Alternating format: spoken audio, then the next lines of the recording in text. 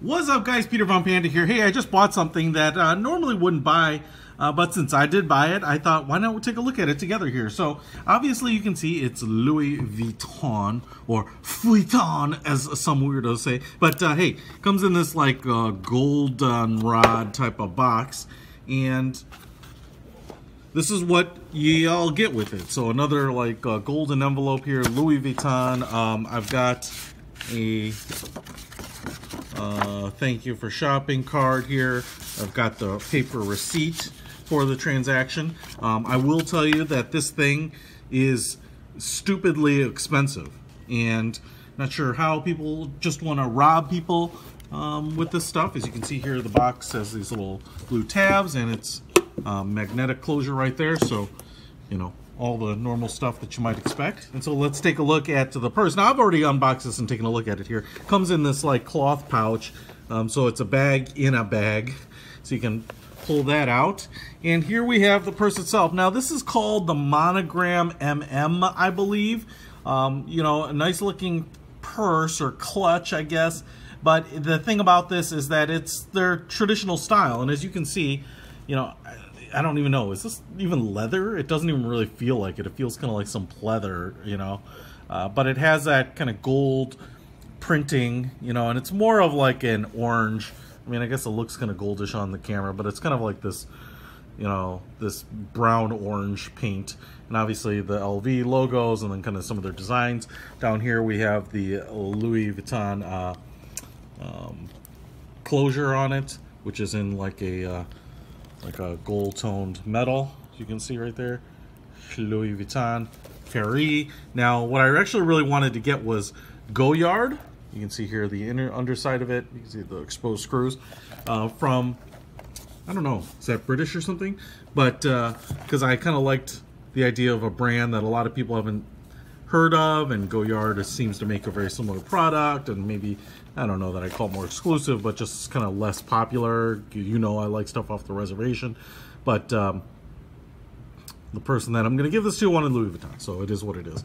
As you can see it's not very big. You kind of have these uh, typical Louis Vuitton like uh, kind of almost natural looking leather with kind of the red sides um, gold hardware around the whole thing you have like this almost like waistband chain, just circular links that's permanently attached to the to the rings on either side. So if you like this thing, you can't take it off, but I guess you can unclip it here and throw it in the purse, or you could kind of just put the whole thing in the purse and let it drape in there. But I mean, it's literally meant to like always be exposed. It kind of reminds me of those chicks that wear like gold chains or like gold chain belts and jazz like that, okay? So, it is what it is. You've got on the back here, um, same material, but you have a couple of like rivets and then the stitching that goes around here, which is presumably for a pocket inside. So let's go ahead and just open this up.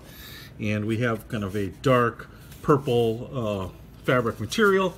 And then here's the pocket that you can see the stitching on the outside. It says Louis Vuitton Paris inside there. Um, again, another similar to the leather on the ends. And then it's just a little, you know, unclosed, un, unflapped pouch or pocket. And you can put some money in here, maybe a passport. It's not super big. And then inside it's pretty just traditional open space again, right? So you have that. Now, what took me a little while to figure out is that you do get the shoulder strap and but only one of the ends has the kind of the little carabiner like clip like the uh, the chain here does too. So what you actually have to do is you um, and what I should say is this really long leather strap uh, yellow stitching down the center has a um, an opening here kind of like a shirt buttonhole. And what you have to do is you have to put that through uh, one end here and then you run the strap through it. So it's kind of a really low-tech, you know, attachment. And to be honest, I'll pull it tight here. Uh, should have probably rotated this over here just a little bit. Um, as you can see, just of pull tight, and apparently that's what holds it in place. Now, uh, my only concern about this is they have punched a little hole here so that it shouldn't tear open, but I feel like this is going to get pulled uh, you know, from side to side, and it could just kind of split down the edge. Now, I guess it's not a big deal. You can kind of see the unfinished leather edges to it, but apparently they've got it figured out, so I don't know. Hopefully the warranty is pretty good on this bad boy. And then you just take this and you've got this little like D-ring just like on here, or the carabiner like clip, and you clip that on and now thing is together and ready to go. And again, I don't know that the chain is supposed to kind of fall in front of the flap or what, but it's a lot of bling, man. Um, maybe I didn't buy it for a friend. Maybe I'm going to carry this bad boy. I don't know. I might.